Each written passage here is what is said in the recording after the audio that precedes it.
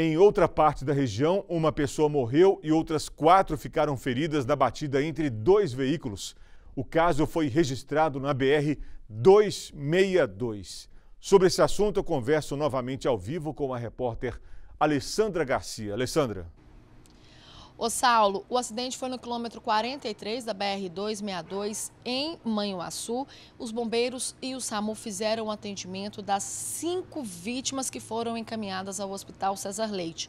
De acordo com o boletim de ocorrências, uma pessoa morreu no local. Essa vítima ainda não teve o nome divulgado, porque, de acordo com as autoridades, ela estava sem o documento. Com a batida, óleo ficou derramado na pista e serragem foi jogada no local para evitar que outros acidentes acontecessem. As causas desse acidente estão sendo investigadas. Saulo.